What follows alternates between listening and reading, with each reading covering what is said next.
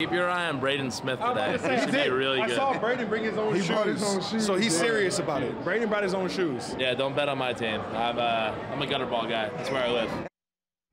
Let's just say not all Pro Bowlers looked like Pro Bowlers tonight because there is no rest here in the offseason in Indy with the NFL draft just days away. Voluntary workouts underway at the Colts complex and the Horseshoe, they hit the lanes tonight for a great cause. Now, the Colts invaded Woodland Bowl for the inaugural Courage to Compete bowling competition, raising $220,000, supporting the Reich's Not Today Foundation, which of course aims to end the sexual abuse, exploitation, and trafficking of children.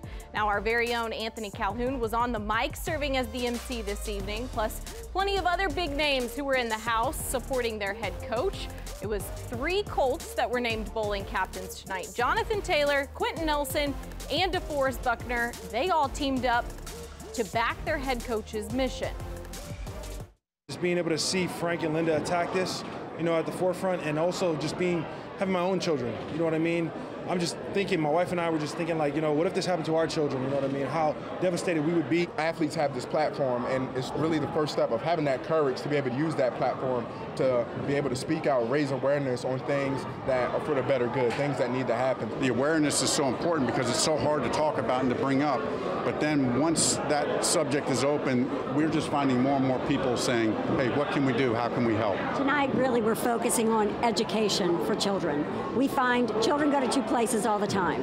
They go to school and they go to their healthcare provider.